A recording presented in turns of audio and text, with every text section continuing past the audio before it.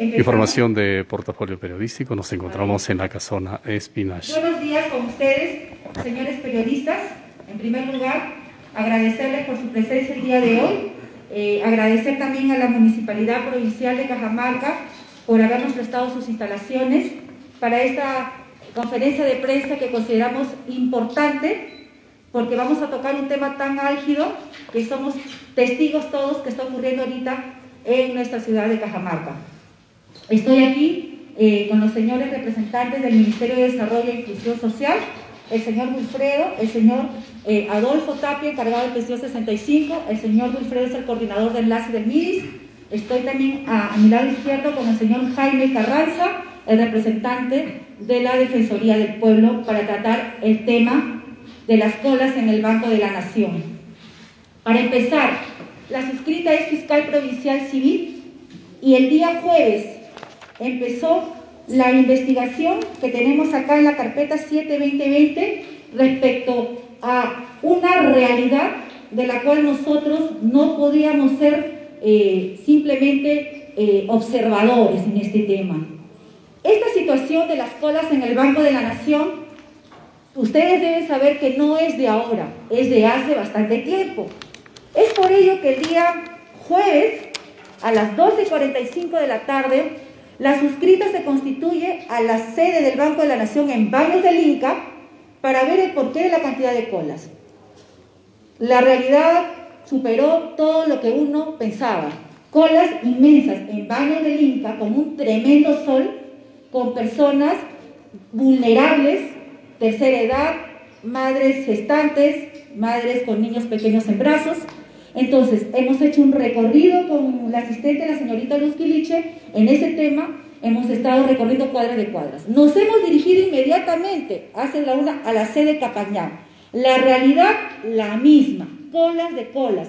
Gente manifestando que incluso estaban desde la madrugada, que habían, ya eran dos veces que iban porque no habían alcanzado la atención, porque se iba el sistema en el Banco de la Nación gente pidiendo ayuda para que se les atendiera, sobre todo personas ancianas. Nos hemos dirigido ese mismo día a la sede principal en Pisagua, muchísimas más largas colas. Entonces, en mérito de esa intervención es que decidimos al día ese mismo día en la noche, la suscrita, a las 7 y 10 de la noche, vuelve a ir al Banco de la Nación y ya encuentra cola de gente que estaba haciendo para ser atendidas el día siguiente. Es por ello que el día viernes 18 a las 7 y media de la mañana nos hemos vuelto a constituir al Banco de la Nación.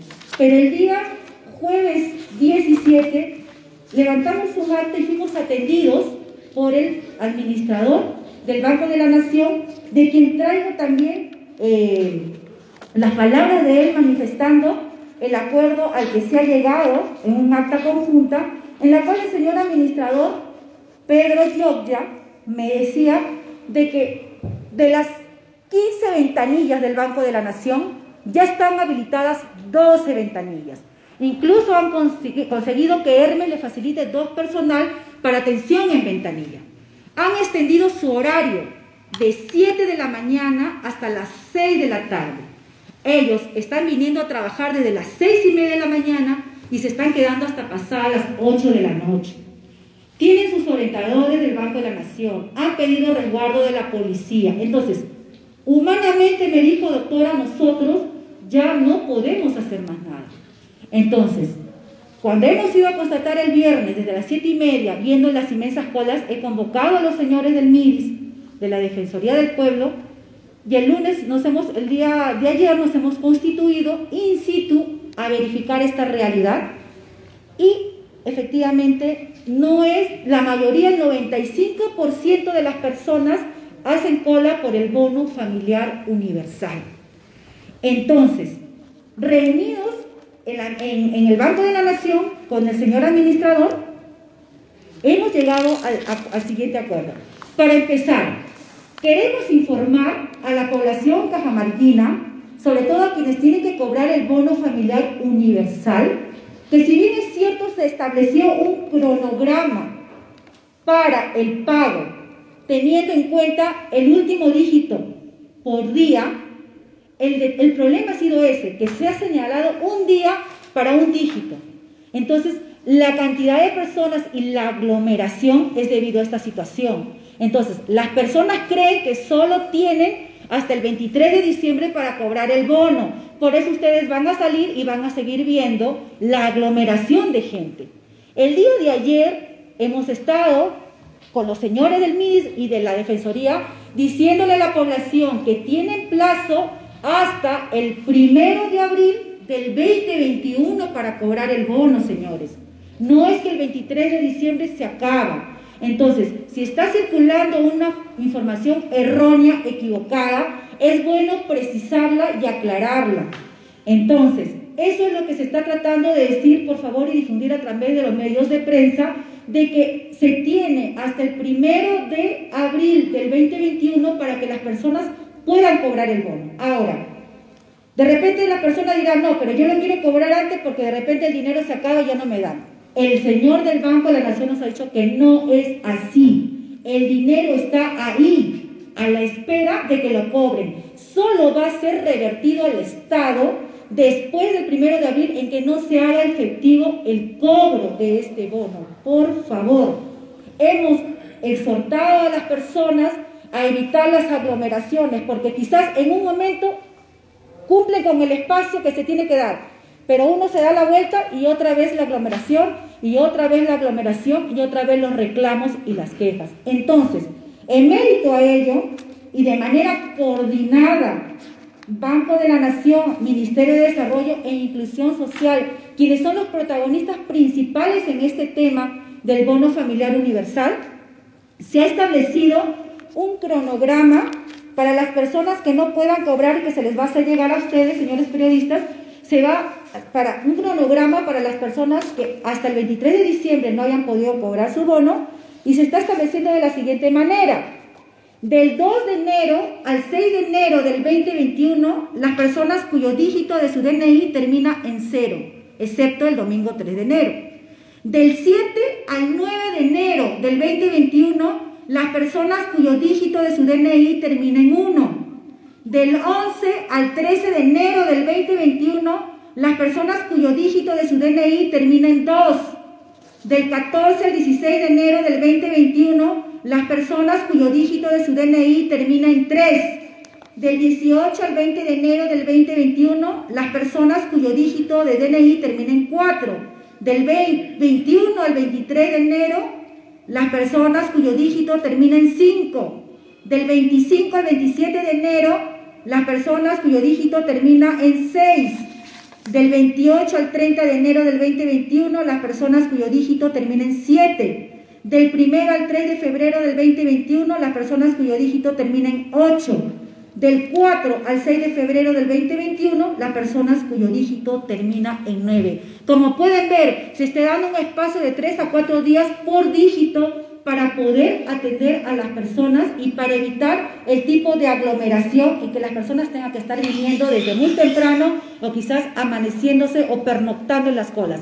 Es triste realmente la realidad de ver que la mayoría de las personas que se quedan y pernoctan son personas que vienen de zonas rurales, vienen de caseríos, de zonas alejadas. Es por ello que el compromiso, además de este cronograma interno que se ha coordinado, el compromiso del Ministerio de Desarrollo e Inclusión Social es el de difundir esta información en los centros poblados, en los caseríos, para que las personas sepan de, este, de esta nueva fecha, ¿no? para los que no logren cobrar hasta el 23. Incluso, señores, previo a la Navidad no hay necesidad de amanecerse con tremendas colas cuando se les va a reiterar hasta el cansancio que tienen hasta el primero de abril del 2021 para poder cobrar el bono. Sin perjuicio de ello, la Defensoría, el Ministerio Público y MIDIS va a seguir monitoreando la situación de cómo se van dando y vamos a seguir difundiendo, perifoneando, pegando avisos para que la población sepa que todavía tiene plazo para poder cobrar el bono. Tengo entendido que hay una cantidad considerable de usuarios en este tema y ya MIDI se va a encargar de difundirlo también a nivel de la provincia de Cajamarca. Y antes de darle el paso al señor Adolfo Tapia, eh, algo que me dijo el señor administrador del banco es que esta buena práctica que hemos adoptado de inmediato, porque creo que en dos, tres días se ha adoptado una medida tan importante, porque imagínense si es que lo elevamos hasta el Ejecutivo, hasta que venga, cuánto tiempo y cuánto tiempo la persona va a estar expuesta en las colas. Entonces, es una buena práctica que de repente podría ser replicado a nivel nacional, porque esta problemática no solo es en Cajamarca, es a nivel nacional y poder ver que trabajando de manera coordinada y conjunta se pueden arribar a acuerdos concretos. Si bien es cierto, la, la, suscrita ha pedido informe a la Fiscalía de Prevención para ver qué han hecho respecto al tema, eh, como les vuelvo a repetir, eh, tengo el informe de la doctora Sandra Bringas que desde abril ha venido viendo este caso de las colas. Ha habido exhortaciones, pero no se ha arribado a nada concreto. La fiscal de la Segunda Fiscalía de Prevención del Delito ha intervenido, si no me equivoco, el viernes a raíz del informe que hemos solicitado. Pero creo que además de llamar a la población a, que reflexione respecto a este tema, yo creo que es hora de tomar medidas concretas y estas son las medidas concretas que se ha adoptado de manera coordinada y mancomunada entre los representantes que están aquí el día de hoy.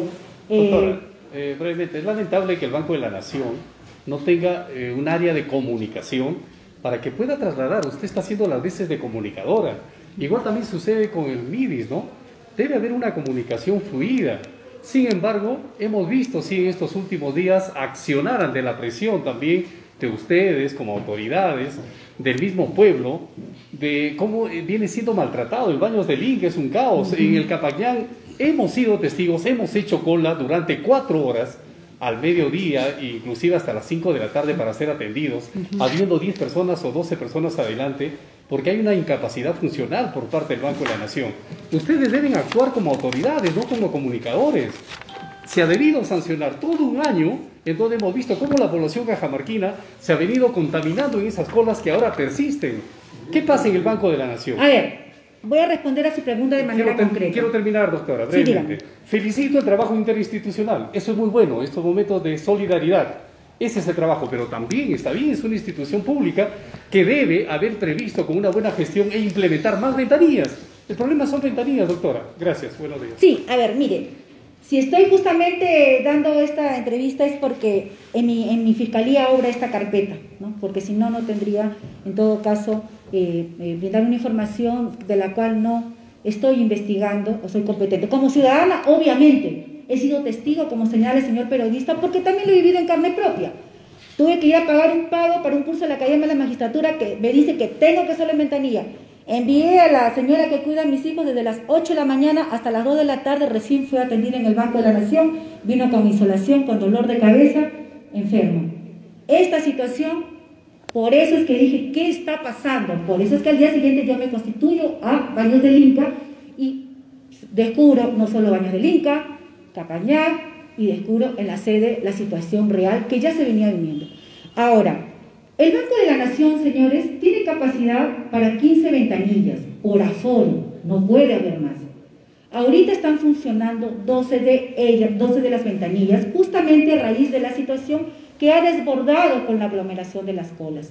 Entonces, más que comunicadores, y creo que es bueno, es bueno informar a la población respecto a las acciones que se están tomando de manera concreta, como Fiscalía, como MIDIS, como Defensoría del Pueblo, como Banco de la Nación.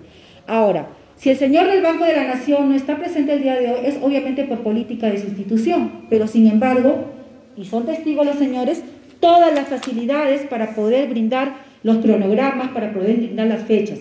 Los señores del Banco de la Nación cumplen nada más con una disposición que viene de arriba de, de, pagar este bono.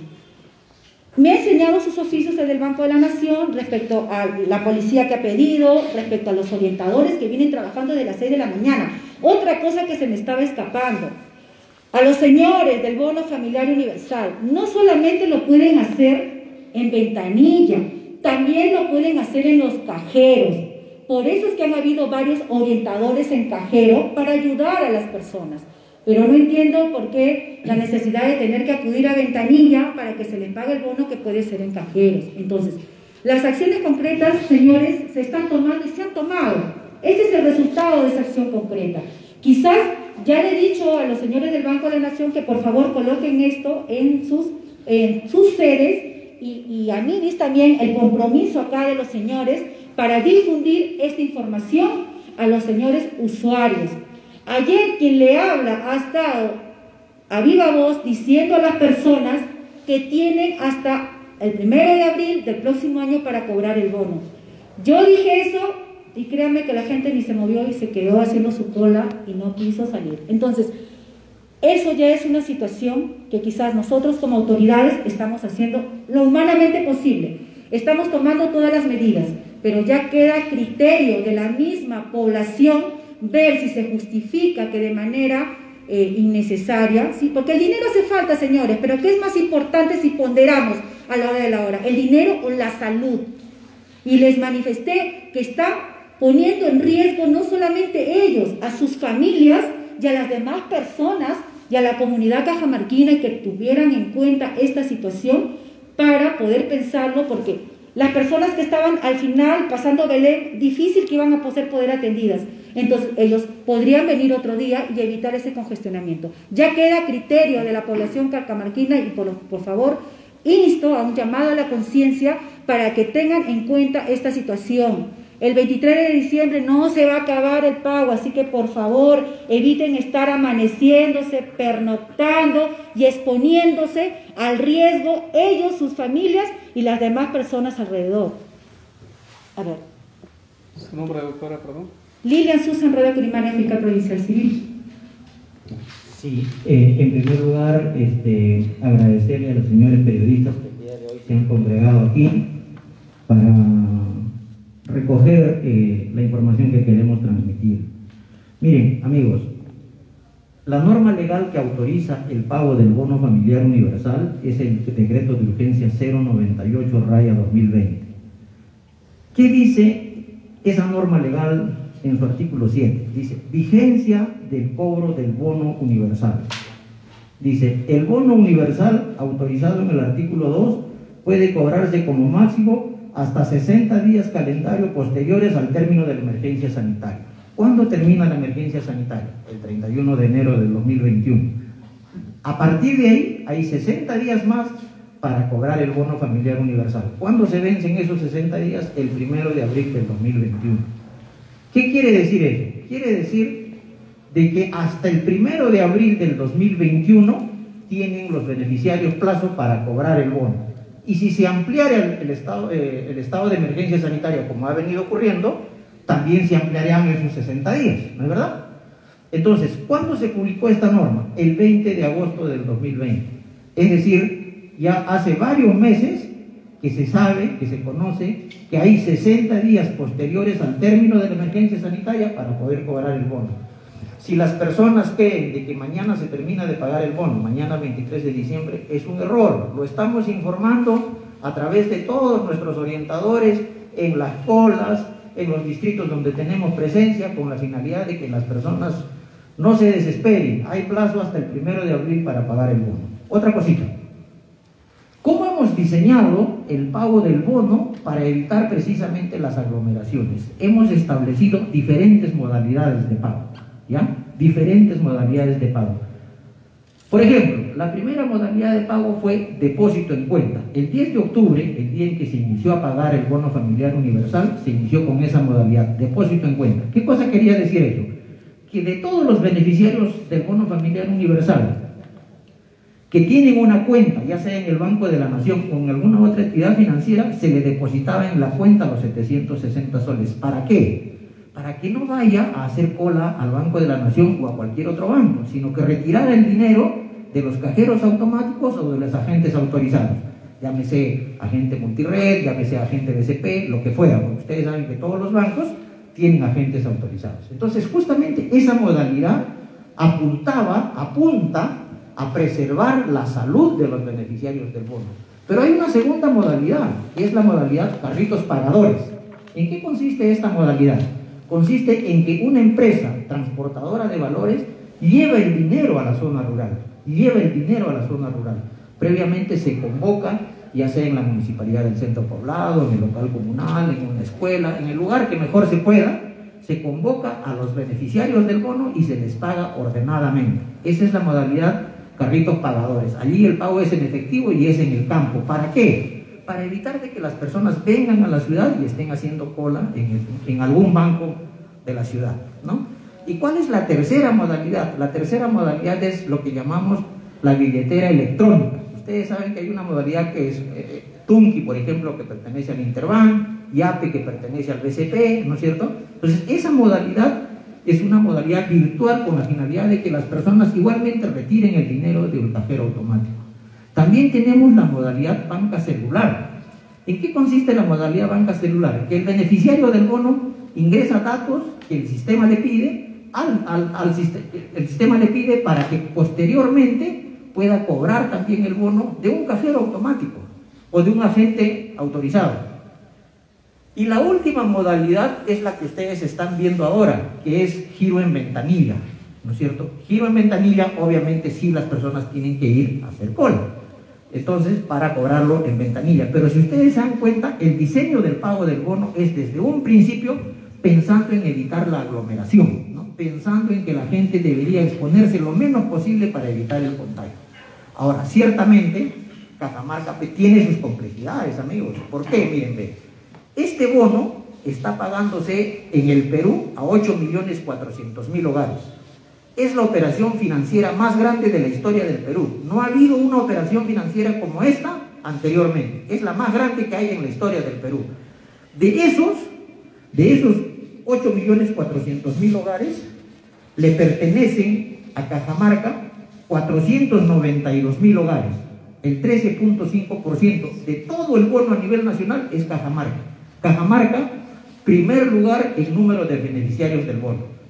Entonces, obviamente, la operación financiera más grande de la historia del Perú, Cajamarca, primer lugar en número de beneficiarios del bono, tiene sus complicaciones, ¿no? Pero ¿qué estamos haciendo para evitar eso? Nosotros quisiéramos que la población nos ayude, que la población no vaya cuando no tiene que ir, porque si me toca cobrar el lunes no tiene sentido de que vaya hoy día, ¿no? Entonces, ¿qué estamos haciendo?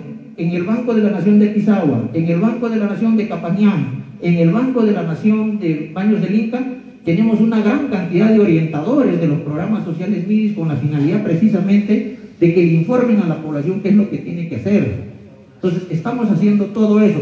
Estamos coordinando con el administrador del Banco de la Nación y aquí sí quiero destacar un rol bien importante que está jugando la coordinación y la articulación. Miren, este pago del bono está encargado al Ministerio de Desarrollo e Inclusión Social, que estamos a cargo de todos los beneficiarios del bono que radican en la zona urbana, perdón, en la zona rural, está encargado al Ministerio de Trabajo y Promoción del Empleo, que está encargado de todos los beneficiarios que radican en la zona urbana, pero también hay un rol muy importante del Banco de la Nación y hay que destacarlo y hay que reconocerlo. Están entrando a trabajar a las seis y media de la mañana y empiezan a atender en ventanilla a las siete y se van hasta las seis de la tarde.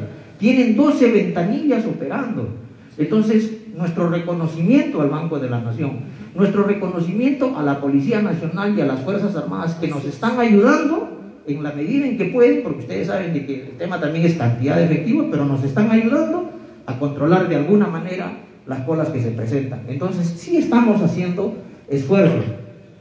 Entonces, ¿cuál es el mensaje que quisiéramos reiterar, ¿no? con, el riesgo de, caer, de ser reiterativos? ¿no? El pago del bono se va hasta el primero de abril. No es una decisión que se haya tomado hoy día, es una decisión que va desde el 20 de agosto, como les digo. Entonces, tranquilidad para la población.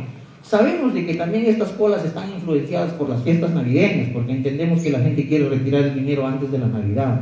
Pero ustedes entenderán, como decía la señora fiscal, de que a veces hay que ponderar, ¿no? ¿Qué es más importante? ¿Tener en mi poder los, los 760 soles o cuidar mi salud? A veces, por eso digo, a veces hay que ponderar. Entonces, hacemos un llamado a la población a que no se esté exponiendo de la manera que lo está haciendo, sino que tenga en cuenta que puede cobrar el bono hasta el primero de abril y por lo tanto este, hay, que tomar, digamos, hay que tomar las precauciones del caso. Información de portafolio periodístico, regresamos con más en cualquier momento. Regresamos.